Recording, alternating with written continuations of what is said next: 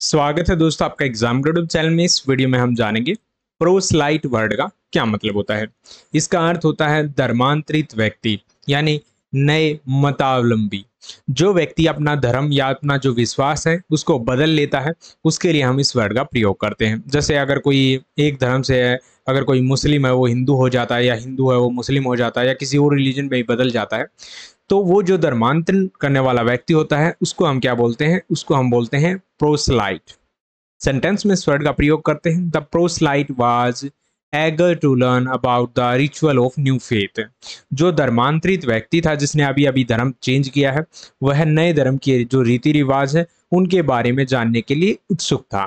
तो जो नया नया धर्म बदलता है, नया नया धर्म परिवर्तन करता है, उसके लिए हम इस वर्ड का प्रयोग करते हैं।